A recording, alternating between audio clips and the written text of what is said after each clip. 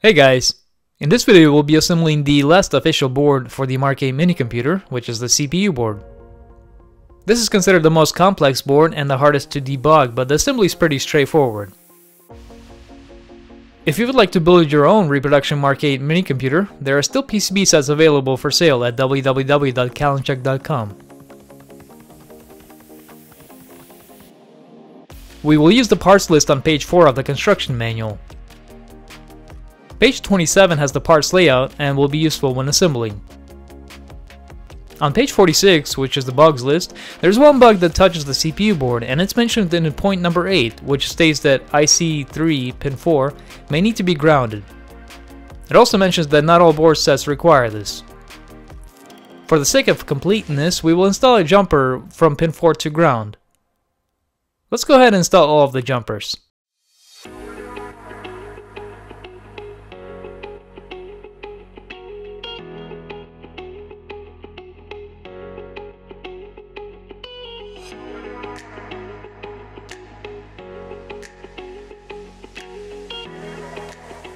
The CPU board requires quite a few different resistors.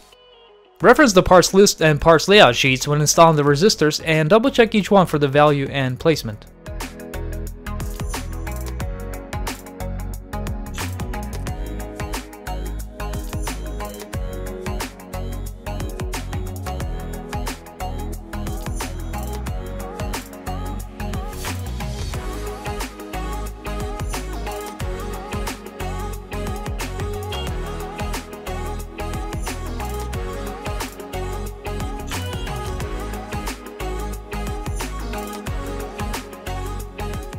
Next, we will install the IC sockets. As usual, ICs can be installed directly into the respective footprints if desired. If installing ICs directly, it might be a good idea to hold off installing IC24, which is the 8008 microprocessor, until verifying that only pin 1 of IC24 has negative 9 volts. I will install the sockets on my board.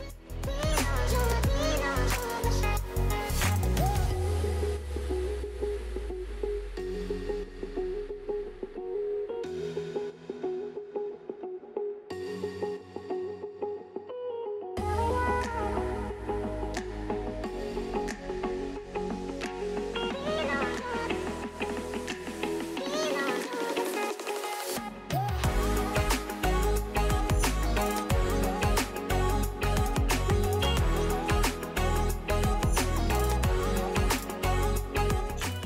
This board only requires the bottom 41 pin connector and as with the other boards we'll build a 41 pin connector with 3 10 position Molex connectors and one 11 position Molex connector.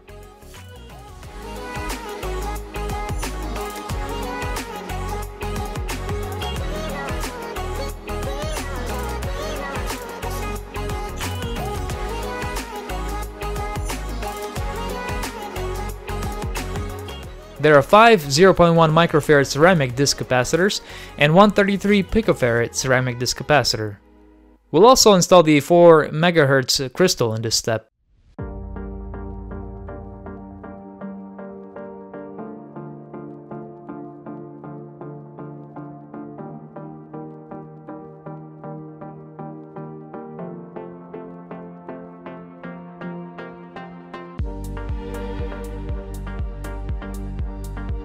The final step is to insert the ICs into their respective sockets. Take care when installing the ICs to ensure correct designation and, orientation. Also, be sure that all pins are inserted cleanly and no pins are bent.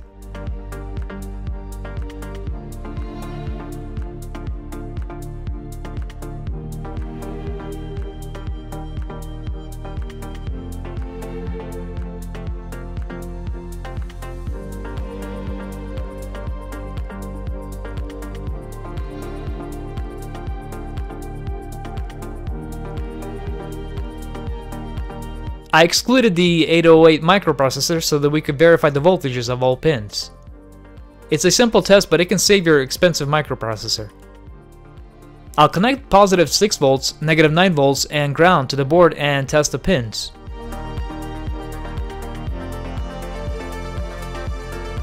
Only pin 1 shows negative 9 volts, so we are good with installing the microprocessor. Let's disconnect power and install it. Okay, I think the board is ready for testing. I'll hook it up to the other Mark 8 and run some programs to verify its functionality.